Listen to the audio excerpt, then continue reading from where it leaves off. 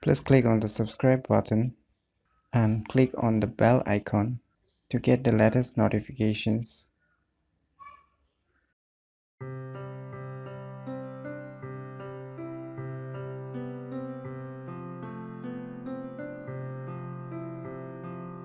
Hello everyone, it's me JB from Unique Tutorials. Today, in this video, I will show you how to easily create and remove write protected folders and directories in any Linux computer. So without any further more delay, let's begin. So first of all, we'll open the file manager. You can choose anything, whether you want a desktop or a video in the which group you want to choose is depend upon your choice. So I'll be selecting here the home and here I will be creating one folder name as new folder as foo so I have created a folder. So how you can make this folder write protected? So let me show you first. Here is a delete option. So when you click on delete you can delete this folder. So it's not write protected. So let me create the folder again. So how we can make it write protected? So we'll just minimize this file manager.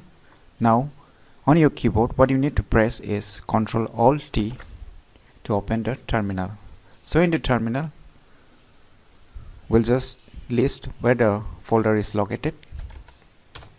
By typing ls as you can see here a folder name foo.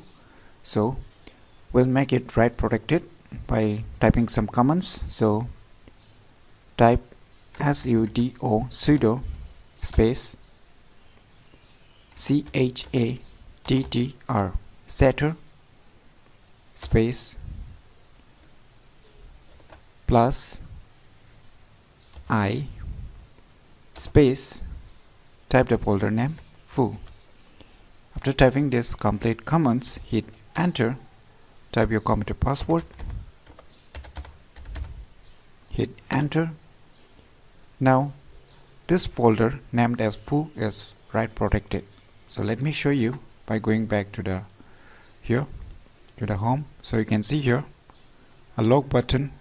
That is the log button icon is being shown in this folder. So when you right click so there is no options to delete. So you can see here delete. You can delete this folder.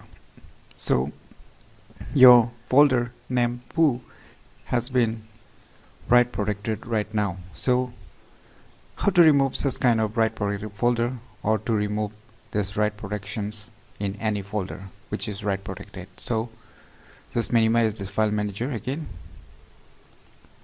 We'll move back to the terminal. Now in the terminal we will type sudo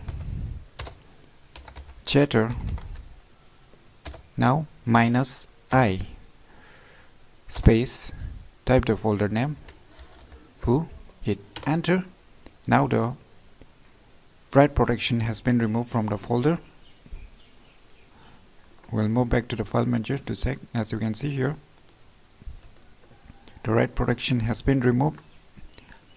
Now where on when you right click on it so there is a delete option now that you can delete by clicking on the delete. So in this way you can create a write protected folder and you can delete 2 using this tutorial very easily in your Linux computer. So you try it out by yourself and if you find this video information useful click on the thumbs like button and if you're new to our channel click on the subscribe button. And lastly thanks for watching